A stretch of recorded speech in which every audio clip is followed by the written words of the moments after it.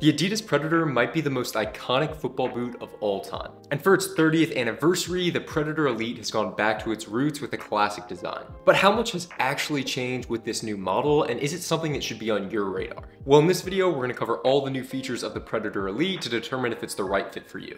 And if you are interested in picking up a pair after watching the video, I'll leave links below where you can find it at a discount. Well, to start off with the design, I love the look of these boots. Honestly, for me, this might be one of the best looking Predators I've seen in years. It definitely makes me think of some of the older Predator models from like 10 to 15 years ago, just like the classic Predator Precision. I was a little bit skeptical of this launch colorway when I first saw it in pictures. I think it's called Solar Red to be specific, but once I got these boots in person, I think the color actually looks amazing. It contrasts really well with the black accents, and I think it just stands out beautifully. And hopefully in the coming weeks and months, we're gonna get some new colorways. I'm hoping for an all black colorway as well as a white and gold colorway. Then as far as the upper is concerned, Adidas have brought their new Hybrid Touch 2.0 material. And that new Hybrid Touch is gonna be relatively soft throughout, but it also has a definite thickness to it. So this upper isn't gonna be nearly as thin as something that you would get on Adidas's other model like the Crazyfast. And some players may like that because that means that this Predator is going to offer a little bit more protection than some other boots you could get on the market. Not that I would ever want to get stepped on on the field, but if I was to get stepped on, I'd probably rather be wearing a pair of these. Then maybe one of the most important things about the boot is going to be the strike skin grip elements on the inside of the foot. Now these grip elements have always been a really big feature of the Predator series and I think that they're pretty well executed in this new Elite model. Instead of the smaller individual rubber elements that you had on last year's Predator Accuracy, the new Predator Elite almost has these fins throughout the side of the boot. And these small rubber strips actually stick out a lot and they're going to provide a lot of additional traction on the ball. And Adidas have only added those grip elements on the instep of the boot, and I think where they're coming from is that that's gonna be where they're most helpful. And then on the outside of the boot, you're gonna have the iconic three stripes of Adidas, and then kind of a matte ridge texture. It's a lot more subtle than the rubber elements that are on the instep of the boot, but it should still give you a decent amount of traction. Moving on to the ankle of the new Predators, you're gonna have a really small amount of prime knit just around the collar here that's gonna immediately give way on the inside to a really soft heel liner. And in my opinion, I think the heel liners is one of the things that Adidas does best in all of their boots. You essentially are gonna get these two really plush pillow-like materials on the inside of the ankle. They're gonna help with break-in time and reduce any blisters you could get around your heel.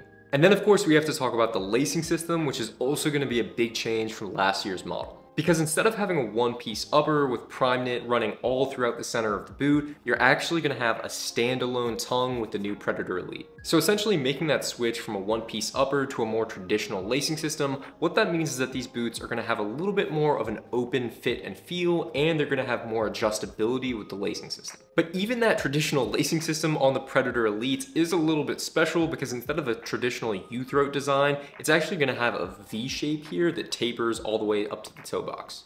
But for me, one of the biggest benefits about this lacing system is that it's gonna make the boots really easy to take on and off.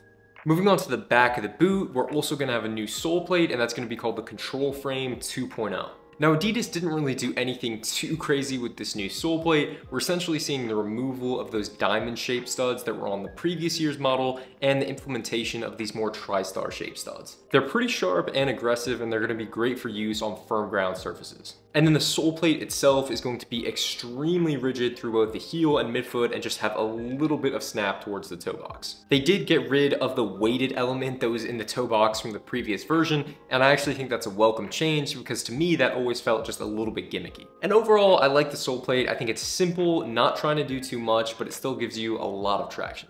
Now let's talk about the fit and feel of these new boots. Now the first thing I noticed when trying on these boots for the first time was that they do have a little bit of heft to them, and I think personally that's just because I've been so used to trying on more minimal boots over the past couple months. But that being said, just because the upper is a little bit thicker doesn't mean they're not still really comfortable.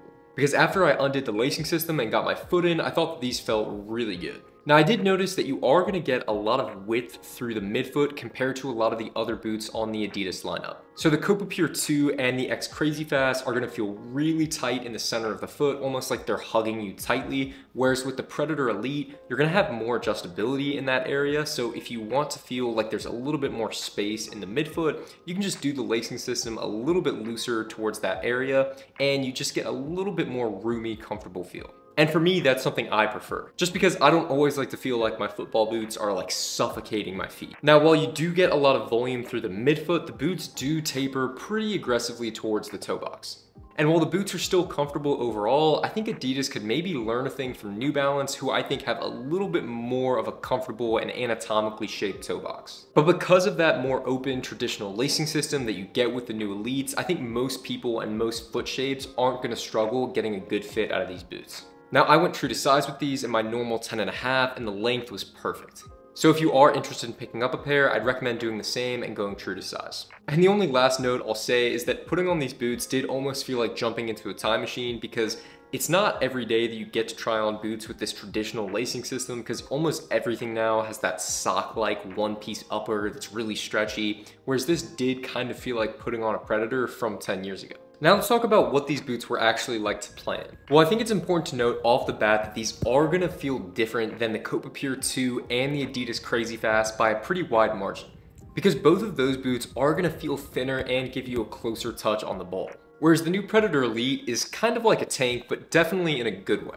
They're just gonna have a lot more substance to them overall. And I think some players are gonna really like that, while others might prefer something more thin. But most importantly, let's talk about the grip on the strike skin and whether or not those rubber elements actually make a difference. And for me, I felt the biggest difference was actually with dribbling the ball. It's definitely gonna add a noticeable stickiness to your touch on the ball. And although it did take a few minutes to get used to, overall I did like it. Then when it came to shooting, I did do my best to get a few curled shots over at the goal. And after trying to really analyze what the differences were with the strike skin versus a boot that maybe had a more matte finish or like a leather football boot, Overall, I think you can get maybe a little more of a handle on the ball with the rubber strike skin element compared to something like a leather football boot, but I'll still say it comes down to about 80 to 90% just how you're gonna hit the ball and your individual technique, and then about 10% maybe to the boots. But I will say, I think Adidas was able to put the grip elements in the most important place because they got them exactly in the sweet spot where you're gonna be hitting the ball on curve shots and long balls. Then as far as the sole plate is concerned, I felt really happy with it. I didn't notice any slipping on the pitch whatsoever.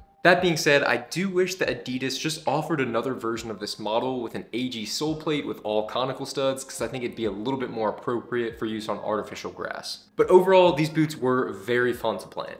And now let's quickly talk about the value of these football boots. So the Predator Elite is gonna come in at $260 for the laced version that you see here.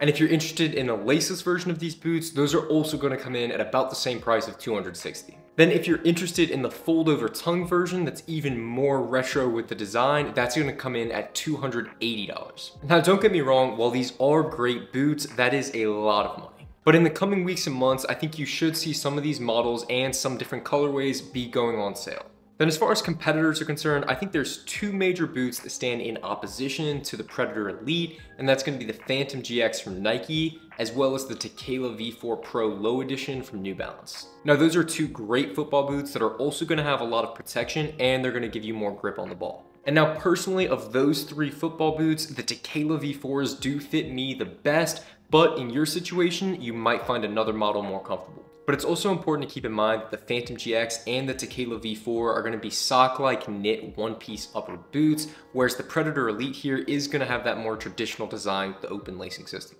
And in that sense, it does help it stand out from the crowd. So if you want a football boot with this kind of adjustability and feature set, it's one of a kind.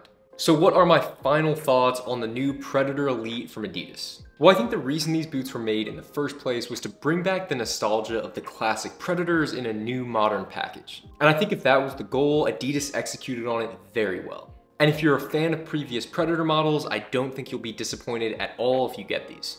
And that is gonna just about do it for this review. Let me know in the comments below if you've gotten the chance to try on the new Predators and what you think of them. Also, let me know if there's any other boots you're interested in me reviewing next. Thank you so much for watching and I will see you in the next video.